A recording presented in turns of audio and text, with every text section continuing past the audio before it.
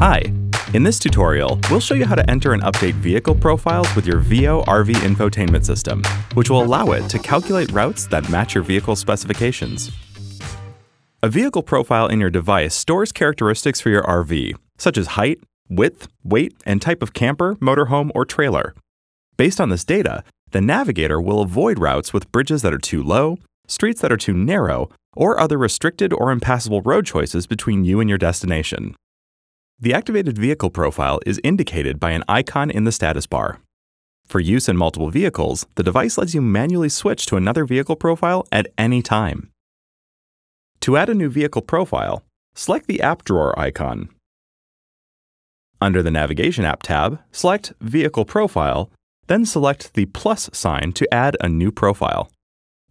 Follow the on-screen instructions to enter your vehicle's information. Tap Select to activate. After you add a vehicle profile, you can edit the profile to enter additional details, such as maximum speed or other criteria you want to set. To do this, go to Settings, then Navigation, then Vehicle Profile. Select an option from the editing tools. To rename a vehicle profile, select the wrench and menu icons. Then go to Rename Profile and follow the prompts.